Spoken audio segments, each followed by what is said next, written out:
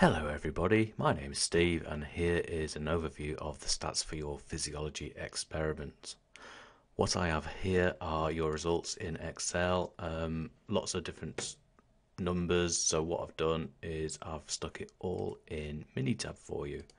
So in Minitab, all the data, as you can see, is all there. How I've compartmentalized it is I've put the participants' three tests uh, together there and identified which one it is in this column here, which is test. So, for example, test one was the control, test two was the carbohydrates, and test three was the placebo. So we're going to see if there's any difference in all that data.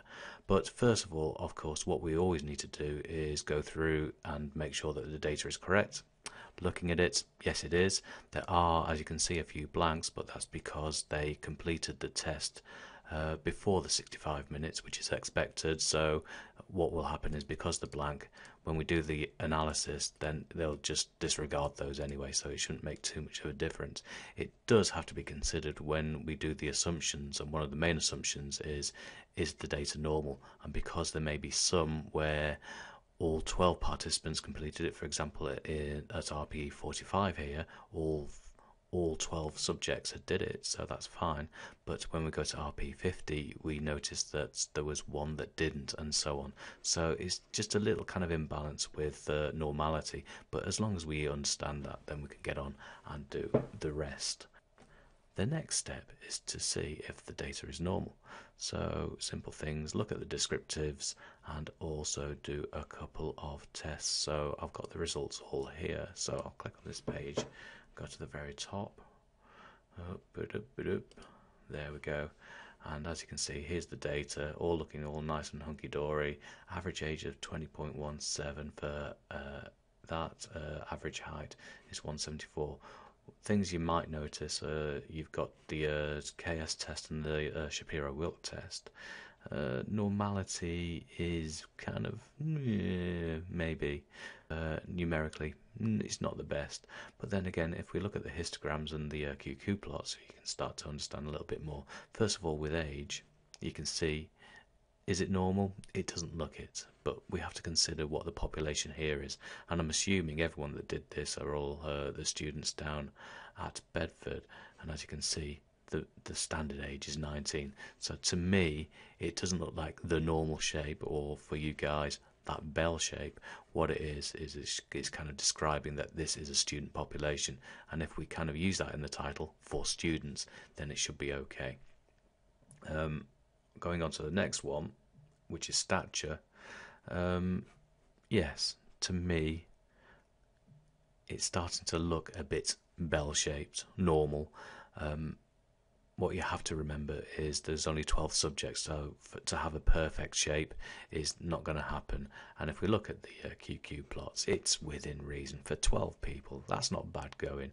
So to me, what I would do is I would recommend that for this test, you'll assume that the population tested is normal as long as you use the term for students. Uh, you do that, you should be okay.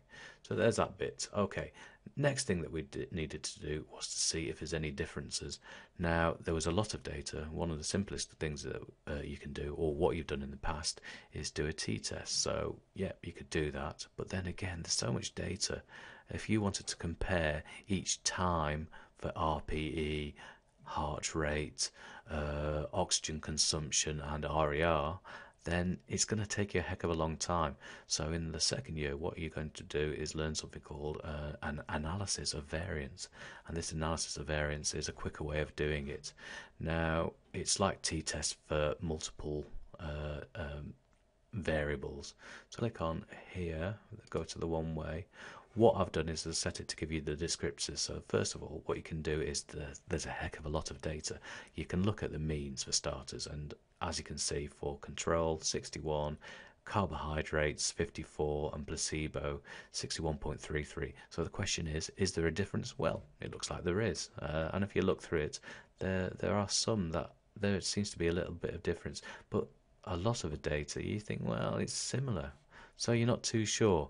You could argue that there is a significant difference, but with the means, but it's not really telling you the whole story. So we go on after the descriptives to um, the analysis of variance, and this is a little bit like a t-test, uh, and all it's doing is asking the question: Is there any difference between the three groups? It's not telling you where the difference is; it's just saying, is there one? And of course, the important number here that we need to look at is the sig number.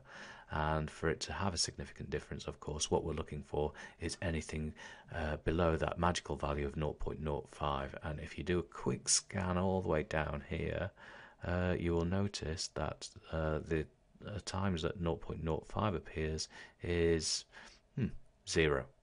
So from there, the simple statement is there is no significant difference uh, between the three tests when looking at RER, O2, heart rate, and RPE. So there you go, no significant difference. Um, I'll just show you now, just to kind of get you warmed up for the second year. But if there was a significant difference, what we can do is something called a post hoc test.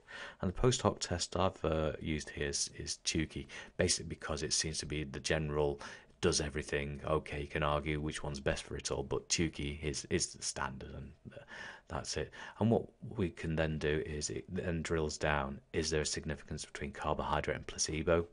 A sig value kind of says, "Ooh, well, 0.05 there." So a completion time. So there's a significant difference there. Uh, control and placebo. Um, once again, yes, there is. So, is there any significant difference in completion times between all these? The answer is yeah, um, looking at all the others, any other sig values beneath 0.05, then the answer looks very conclusively not really.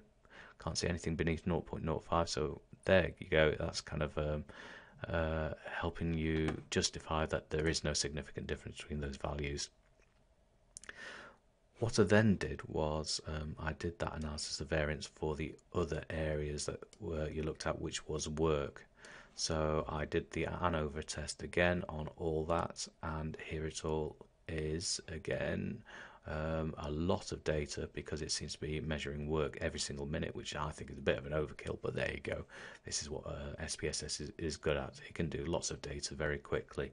And if I go to uh, the top of here, once again, what we're looking for is significant value beneath 0.05, and a quick scan basically says uh, there is no significant difference between the work rate between the three groups. And if you look at the Tukey post hoc tests at the very end, then once again the sig values are all pretty high, nothing below 0.05. So there you go.